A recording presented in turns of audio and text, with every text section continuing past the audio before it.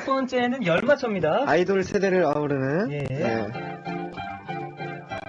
아, 아, let's go, let's go. 마이크 1, 2, 3. 1, 2, 3, 3, 3. 3D, 3D. 아, 아, 아.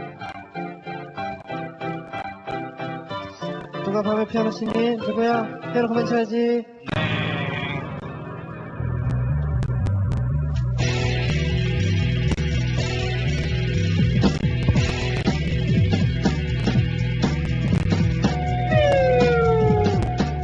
자, 이제 렛츠고! 한 마디 예고 없이 잘라버리고 내 인생 좀 바꿔주어.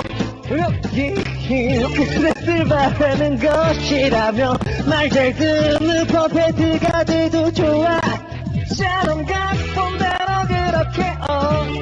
잘 되나 지켜봅시다. 히셔 렛츠고!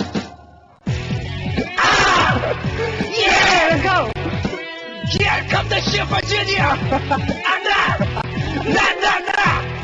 안다는 뭘 주니어! 날 버리겠죠! 그렇죠, 목탁스러 버리겠죠! 한심한 꼬라지들 코제 불러 간다고! 자기들 같이 잘난 사람들하고! 짜들어대는 껍데기겠죠! 넌 그게 싫어 하나도 보고 배울 것이 없는데도 재미없어 없어 자신들은 밥 먹듯 똑같은 그 기적거리는 갱스들 뿐이야 검수대 검수가 바람처럼 부질없는 것왜 다들 잘 못할 걸 저고 있나? 공수해 공수가 거품처럼 사그러질 것들. 욕심을 버리고 하늘을 봐.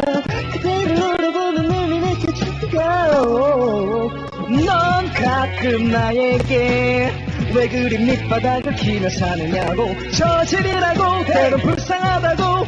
그런 눈으로 우, 보지마. 쳐다보지마 왜왜 니즈보다. 서로가지 못하다면 하여튼 인간이가 돼 그리 대체 그 기초법은 누가 만들었을까? 슉슉슉슉슉슉. 안 이사님 잘말보다. 할